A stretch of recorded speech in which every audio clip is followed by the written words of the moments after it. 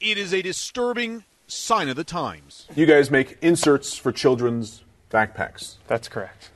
bullet resistant inserts. That's correct. This is one of them. Yes. Show us how they work. All right, so this is our, our military grade product. COO Rich Brand says in the last week, sales have jumped 500% and they're still climbing. Desperate parents seeking ways to protect their kids in the most extreme situations.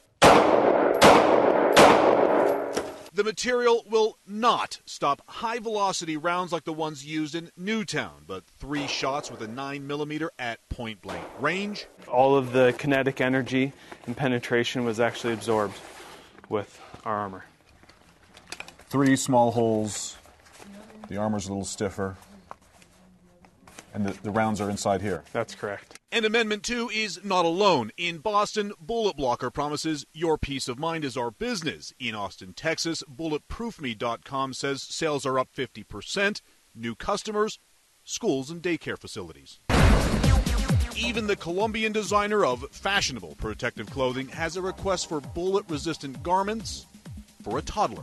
People do say you're, you're, you're profiting off of terror and horror.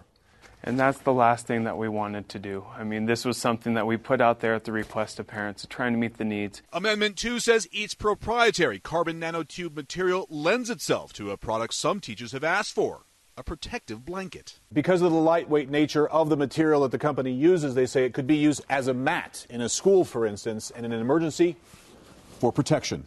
At Salt Lake City's Get Some Guns and Ammo owner Stuart Wallen says protective gear won't stop a killer.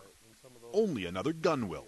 If you knew every teacher in a school had a, a gun, I think you would think differently about your little plan. Since 1995, Utah has allowed teachers to carry concealed weapons. The law is yet to be tested, but after Newtown, anything seems possible. Miguel Marquez, CNN, Salt Lake City.